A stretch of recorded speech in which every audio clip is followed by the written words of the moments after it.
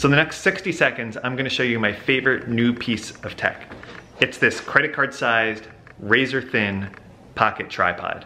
And before the end of this video, we're gonna use it to make a video of its own. So when you take it out of your wallet or whatever and you're ready to use it, you're gonna flip this around like this, and then you're gonna flip up the sides, and now you have your tripod. Let's try it out. All right, buddy.